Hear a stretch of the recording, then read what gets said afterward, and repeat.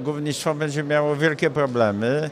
Mam nadzieję, że sobie z nimi przynajmniej w części poradzi z własną konkurencyjnością. Pamiętajmy o tym, że działamy na otwartym rynku Unii Europejskiej, że węgiel wydobywany w Polsce ma konkurencję.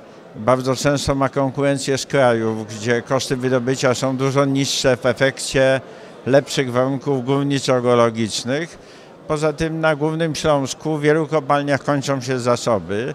Będziemy musieli likwidować te kopalnie.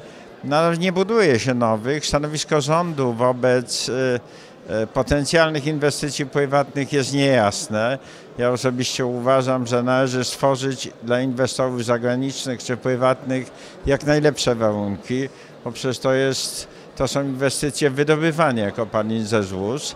Natomiast y, nieuchronna jest również w elektroenergetyce substytucja paliw stałych, czyli węgla kamiennego i węgla energetycznego e, i węgla brunatnego, oczywiście w dłuższym przedziale czasowym innymi nośnikami energii, no bo w grę wchodzi pakiet klimatyczno-energetyczny, bardzo wysokie koszty w przyszłości emisji dwutlenku węgla i tak dalej, i tak dalej. Także po pierwsze polskie górnictwo E, będzie jeszcze funkcjonowało przez wiele lat, bo przecież elektroenergetyka oparta jest na, e, na węglu kamiennym i węglu brunatnym. Niemniej jednak ono musi być konkurencyjne.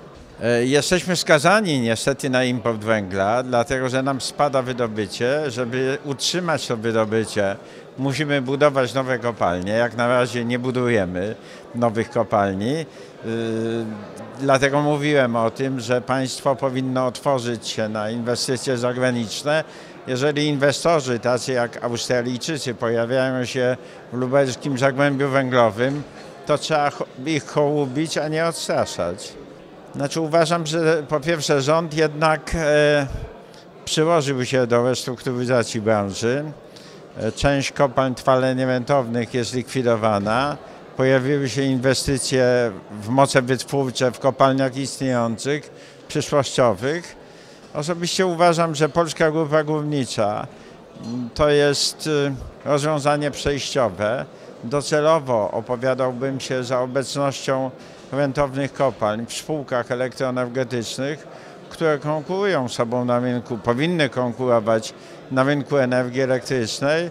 Przykład Taurona jest dobrym przykładem, iż jest to racjonalne rozwiązanie, także zdecydowanie dużo lepszym rozwiązaniem i w sensie zarządzania, i w sensie kapitałowym jest obecność kopalni w spółkach elektroenergetycznych, czyli kopalnia potraktowana jako zakład nawęglania elektrowni. Natomiast utrzymywanie na dłuższą metę Polskiej Grupy Górniczej, której to Polskiej Grupy Górniczej udziałowcami są e, konkurujące ze sobą spółki elektroenergetyczne, rozwiązaniem racjonalnym nie jest, długofalowo oczywiście.